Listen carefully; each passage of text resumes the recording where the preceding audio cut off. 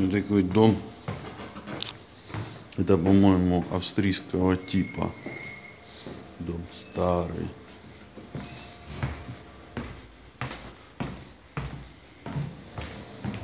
Мне, кстати, здесь дворы чем-то напоминают одесские дворы. Ну, такой подъезд. Такой вот внутренний дворик есть. Ну, как в Одессе. Да. Фартумасти. Ну, Вот такие вот старенькие дома. Ну,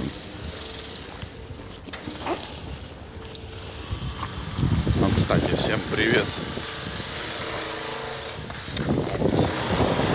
Короче, выбрался на улицу, хорошая погода сегодня, снежок идет. У нас, кстати, снег уже идет, блядь, дом строят. Здесь новострой какой-то строят. Короче,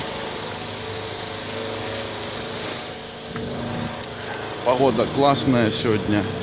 Выбрался за какими-то продуктами. У нас как в апокалипсисе. Короче, съездили в Карпаты и заболели.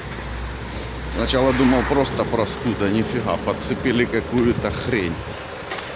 Или грипп, или... Ну, короче, что инфекционное. Ну Вот. И вот эти все дни сидели дома, жрать было нечего реально. У нас, у нас смеш... самое смешное, у нас закончилась даже соль. У нас нету соли, так что я так более-менее лучше отчухался, но уже все у меня как бы никаких остаточных явлений от простуды или инфекции это нету. Пиздую покупать самое необходимое хотя бы. Потому что ни хлеба, ни сахара, э, э, даже соли нету. Мы сожрали даже соль. Но благо сегодня погода хорошая. Так, минус 2, солнце. Вот мне одно интересно. Кстати,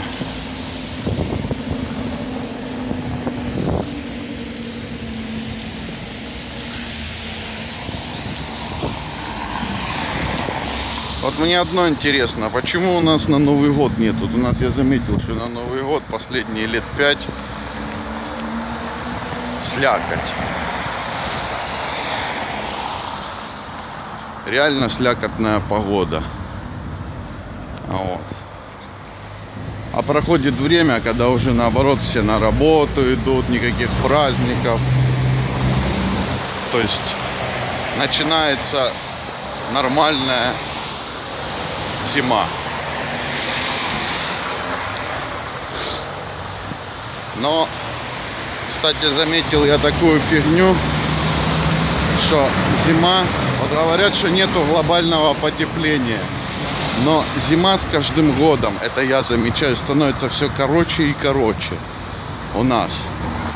То есть, ну, в том году у нас зима максимум была, если сбить все дни, это две недели и капец жаркое лето. То есть лето становится все жарче и жарче. Я не знаю, здесь как во Львове. Мені треба вуличка, яка йде на високий замок. Ой, на високий замок іде, то е, проходите, вон, ось бачите, м, жовтий дом, Так. ну той далі. Так. Ідете далі, і Так. там буде будівництво. Е, Таке до, до, до- дом Дом, строять так. новий. І направо, і там на високий замок. Дякую. Нема за що.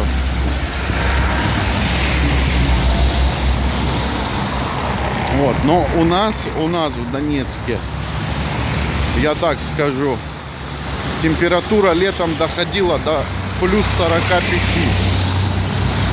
А, Блин, да такого никогда не было. Потом скажите, что нету глобального потепления.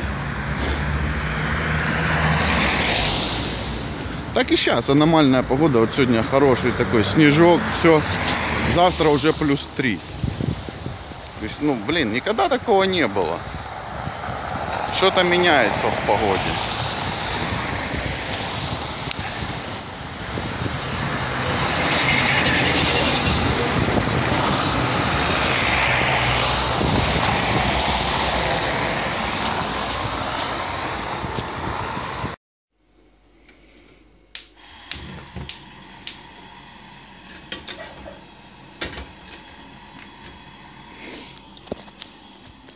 Кофейку, сейчас поставлю. Уже третью чашку пил. Кстати, заметил все-таки, что от него э, такая серьезная зависимость есть, реально зависимость, потому что я три дня не пил кофе, и у меня какое-то состояние такое было, обжорство такое компульсивное, я прям ем, ем, ем, ем, как заедает, как человек бросает курить, например. Вот такая фигня со мной происходила из-за того, что не было кофе. Купил кофе, я заметил, я стал сразу жрать меньше.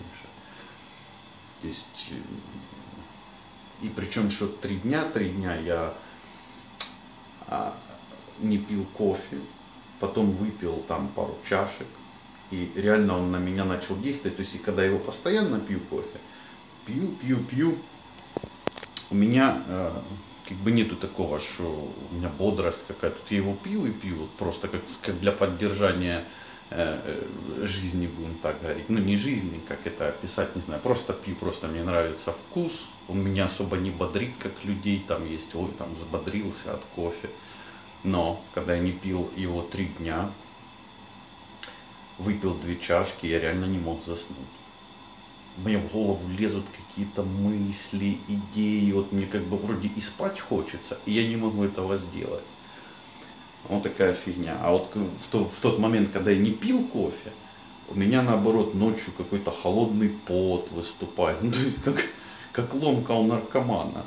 Э, поясница какого-то хрена начала болеть. Может это не с этим связано, потому что я как бы ну заболел, может поэтому поясница болела. Ну не знаю, может быть это ряд того, что организм требовал кофеин. Может и такое быть. Прям реально такое. Поясница так болела, прям тебя ломает, как пополам. Как-то так хотелось согнуться и сидеть вот так согнутым. Вот, скупился, короче, купил продукты, а голодать не будем. Вот. Потому что я же говорю, что, блин, заболели так э, серьезно. А, вот, купил, э, значит, масло. Не знаю, видно, не видно. Ну, короче, не важно. Купил масло рафинированное. Вот что меня бесит вот больше всего у нас. Вот сравнивая, кстати, с Польшей. Да, мы недавно с братом на эту тему беседовали. Это то, что я купил масло, бутылку. Ну, я как-то не смотрел на этикетку, что там написано маленькими буквами написано купил бутылку, она 850 грамм. Есть, оказывается, масло и 750 грамм, то есть бутылка на вид одинаковая с литровой. Но ты как бы покупаешь, то есть нас уже так приучили, что э, почему-то в Европе, в Европе я заметил, нету такого понятия там 850 грамм молоко или 950. Там вот есть бутылка, литр молока. Конкретная бутылка, литр молока. У нас молоко уже людей приучили к тому маркетологи, они уже настолько охуели, что брат видел молоко 890 грамм. 890 грамм молока. И то есть людей уже приучили к тому, что они покупают не литр молока, как раньше, а упаковку молока. Вот просто вот упаковка молока. Там может быть литр, 890 грамм, вообще смешные какие-то цифры, что 890 грамм. То есть меня вообще это раздражает. То есть у нас литр и килограмм можно купить какой-нибудь говна, типа э, уксуса там какого-нибудь, там литр будет, потому что нахуй никому не нужен. Или вот соль я купил, килограмм, там килограмм, не 890 грамм, как э, с молоком. А такие продукты, как хлеб, например, вот есть просто лежит батон, они даже не пишут, сколько он весит.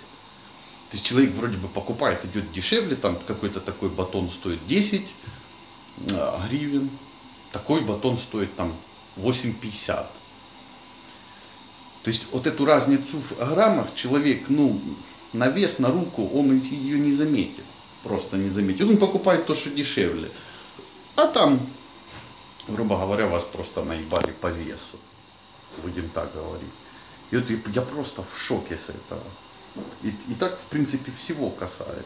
Все, э, гречка, речка я покупал э, то же самое. То есть все такие продукты, более-менее гречка, горох, которые имеют какую-то ценность и популярность. У нас э, почему-то оно 800 грамм. Но люди покупают не 800 грамм, они берут упаковку. Никто уже даже не считает этого. Я помню, когда только появлялось такое молоко, 900 грамм, например, люди еще возмущались, что-то высчитывали.